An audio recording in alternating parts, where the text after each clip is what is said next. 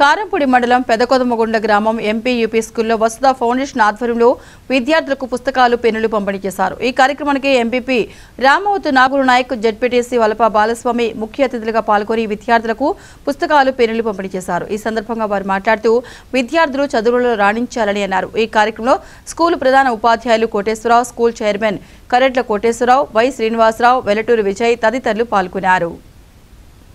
Foundation వారు హైదరాబాద్. వస్తా foundation Hyderabad వారు మన పాఠశాలలో చదువుతున్నటువంటి విద్యార్థులందరికీ కూడా నోటు పుస్తకాలని పెన్నుల్ని పెన్సిల్స్ని మరి బహుకరించడం జరిగింది.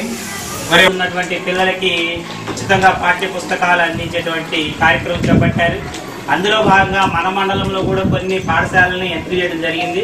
అందులో మన కొదమగొండ మరి శివాలయం స్కూల్ కూడా ఎంపిక చేసుకోవడం వారు మరి ఇక్కడ చదువుతున్నటువంటి ఈ అరవై మంది విద్యార్థులకి బుక్స్ పెన్స్ అన్ని కూడా పంపించారు.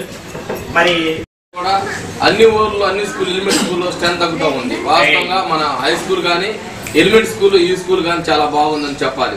ఎందుకంటే గతంలో హై స్కూల్లో కూడా పిల్లలు ఉండేవాళ్ళు కాదు. ఇవాళ ఐదు వందలు దాటిపోయింది మన స్ట్రెంత్ మన మండలంలోనే మన హై స్కూల్ మంచి పేరులో ఉంది. ఐఐటి త్రిబుల్ ఐటీ వచ్చినట్టుంది ఒక ఒక వచ్చింది. టెన్ టెన్ జీపీ ప్రైవేట్ స్కూల్కి ధీటుగా మన స్కూల్ వచ్చింది. కాబట్టి మండలంలో టాప్ లిస్ట్లో మన హై స్కూల్ ఉందని చెప్పడానికి మనం గర్వంగా ఫీల్ అవ్వాలి. ఎందుకంటే మంచి స్ట్రెంత్ ఉంది మనంతా వీరి పిల్లలు త్రిబుల్ ఐటీలు వస్తుంది. మనం ఇన్ని డబ్బులు పెట్టి చదివించినా కానీ ఆ సీట్లు ప్రైవేట్ స్కూల్లో రావట్లేదు. ఆ వచ్చిన అవకాశాన్ని బాగా చదివే పిల్లగాలు ఉంటే బ్రహ్మాండంగా హై స్కూల్లో చదివించుకుంటే వాళ్ళ లైఫ్ సెట్ అయిపోయింది కాబట్టి మనం ఆ దిశగా ఆలోచించాలి. అలాగనే దాతల విరాళాలు భార్యలు సేకరిస్తారు అదేవిధంగా పిల్లల స్ట్రెంత్ కూడా అన్ని స్కూల్లో విజిట్ చేస్తూ ఉన్నాం. ఇప్పుడు మాత్రం సంఘానికి అక్కడ అవకాశం లేదు. ఇందుకు తల్లిదండ్రులు మాత్రం పెదపదవులు పంచాయతీ పరిధిలో ఉన్న తల్లిదండ్రులు ముందు పెట్టుకోవాల్సిన విషయం ముందు గవర్నమెంట్ స్కూల్ అనేది ముందు ప్రిఫరెన్స్ ఇస్తారు అదేవిధంగా తప్పకుండా ఇంకా ఇక్కడి నుంచి కూడా ఈ ఐదో తరగతి అయిపోయిన తర్వాత మనకు అందుబాటులో హై స్కూల్ ఉంది. మంచి స్ట్రెంత్ అక్కడ ఉన్న హెచ్ఎం గారు కూడా బాగా చేస్తున్నారు. స్కూల్ నిజంగా డిప్యూటీ గారు చెప్పినట్టుగా గతంలో ఎలా ఉంది? ఇప్పుడు మేము వచ్చిన తర్వాత ఈ మూడు సంవత్సరాలు ఎలా ఉంది? ఒకసారి పోల్చుకోండి.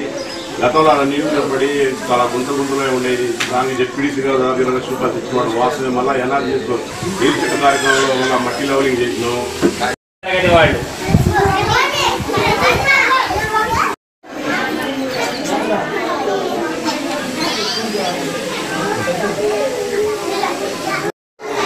దాన్ని తమ